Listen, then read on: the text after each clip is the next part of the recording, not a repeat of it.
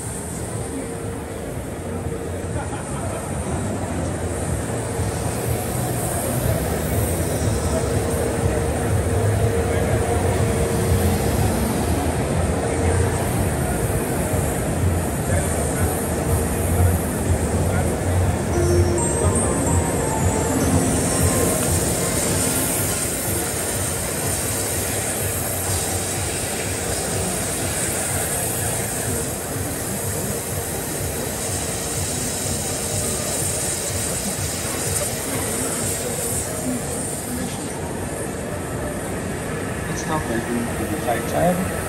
You can open and see what is proposed.